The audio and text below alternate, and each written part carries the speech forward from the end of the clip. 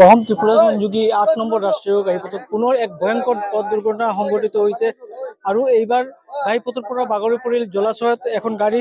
গাড়ীখন যিটো আমি জানিবলৈ পাৰিছো যে এইখন জলাশয়ত পৰিছে আৰু গাড়ীখন অল্ট বাহন বা ৱাগেনাৰ এনেদৰে ৰাইজে কৰি আছে। কিন্তু গাড়ীৰ সন্ধান এতিয়ালৈকে কিন্তু ওলোৱা নাই। গতিকে প্ৰকৃতপক্ষে কোন গাড়ী আছে যদিও অধিকাংশ ৰাইজে কৈছে ৱাগেনাৰ এখন গাড়ী। আৰু এটা কথা ক'ব লাগিব যে এই যে যিখিনি ঠাইত দুৰ্ঘটনাত পতিত হৈছে এয়া একেবাৰে কৰিমগঞ্জ চহৰৰ নিৰগত আৰু যদি দেখা যায় দুয়োফালে ঘাইপথ আছে আমি যিটো যিখন ঘাইপথ দেখি আছো এইখন ঘাইপথ হ'ল পুৰণি ঘাইপথ কৰিমগঞ্জ পৰা ওলোৱা আৰু ইয়াতে আচলতে সংযোগস্থলী যদি দেখা যায় পিছন ফালে ইয়াৰ পিছন ফালে যথেষ্ট ৰাইজ আছে আৰু ৰাইজৰ ইফালে কিন্তু ঘাইপথ যিটো বাই বাইপাছ বুলি কয় বাইপাছ ঘাইপথৰতে গৈ আছিল বাহনখন। বাহনখন আচলতে ত্ৰিপুৰাৰ পৰা শিলচৰ অভিমুখী আছিল বাহনখন আৰু পথতে এনেদৰে নিয়ন্ত্ৰণ হেৰুৱাই ঘাইপথৰ পৰা একেবাৰে এই জলাশয়ত পৰি যায়। আৰু এই জলাশয়ত যেতিয়া এতিয়া বাৰিষা কাল আৰু লগতে আছে ইয়াতে কাকাৰা নৈ নৈ কাকাৰা নৈৰ পানী ইয়াতে আহি কিন্তু এতিয়া বহুখিনি ইয়াতে যেন পানীৰ গভীৰতা ক'ব গ'লে বহু বৃদ্ধি পাইছে। আৰু তেতিয়াৰ পৰাই যেতিয়া দুৰ্ঘটনা সংঘটিত হৈছে প্ৰায় ডেৰ ঘণ্টা হৈছে ডেৰ ঘণ্টাৰ পৰা কিন্তু এছ ডি আৰ এফ বাহিনী বা আৰক্ষী বাহিনী সকলো ইয়াতে মোতায়েন আছে।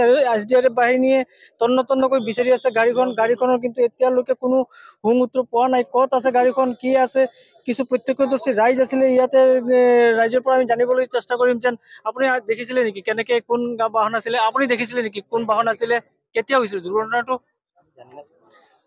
আমি আৰু ৰাইজৰ ওচৰত যোৱাৰ চেষ্টা কৰিম যি যিসকলে আচলতে জানে ইয়াতে এগৰাকী ৰাইজ আছে তেওঁ বিচাৰি আছে আচলতে তেওঁ বহু ৰাইজ আছে ইয়াতে আচলতে উৎকণ্ঠৰে চাই আছে যেন দুৰ্ঘটনা কেনেদৰে সংঘটিত হৈছে কেতিয়া হৈছে দুৰ্ঘটনা আৰু ঘটনাটো আৰু অলপ আগত হৈছে ইয়াত। ইয়াত দুইজন ট্ৰাইবেল মানুহ আছিলে।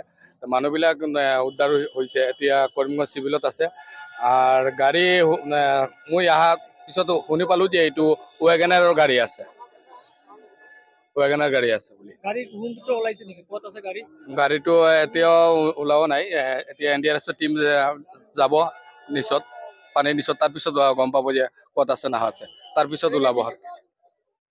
নিশ্চয়কৈ ডেৰ ঘণ্টা ধৰি আচলতে এছ ডি আৰ এফ বাহিনীয়ে ইয়াতে বিচাৰি আছে যিহেতু পানীৰ জলস্তৰ অলপ বেছি আছে যাৰ কাৰণে কিন্তু এতিয়াও কিন্তু গাড়ী আচলতে ক'ত আছে কি আছে এতিয়াও কিন্তু ওলাব পৰা নাই। কিন্তু যদি দেখা যায় যেন এই যে ঘাইপথৰ চাৰিওফালে কিন্তু ৰাইজে কিন্তু উৎকণ্ঠৰে বিচাৰি আছে যেন গাড়ীখন কি গাড়ী কেনেকে বা এটা সন্দেহ থাকি যায় যদিও প্ৰায় স্পষ্ট হৈ উঠিছে যেন ইয়াতে কিন্তু দুইগৰাকী যাত্ৰী আছিল ইতিমধ্যে স্পষ্ট হৈ উঠিছে আৰু কোনো যাত্ৰী নাই তেওঁলোকৰ ভাষ্য অনুযায়ী এইখন গাড়ীত আচলতে কোনো এজনো আবদ্ধ হৈ থকা নাই বুলি জনা গৈছে কিন্তু তাৰ পাছতো শংকা থাকি যায় যদিও এই দুৰ্ভাগ্যক্ৰমে কোনোবা থাকি যায় এইকাৰণে যে- যিমান সোনকালে সম্ভৱ এ, গাড়ীখন বিচাৰা ওলোৱা হৈ আছে আচলতে এটা ঠাই চিহ্নিত পাৰিছে এইখিনি ঠাইত গাড়ীখন হ'ব পাৰে ইয়াতে এছ টি বাহিনী লাগি আছে যাতে অতি পলমে অতি সোনকালে যাতে গাড়ীখন উদ্ধাৰ কৰিব পাৰে বুলি।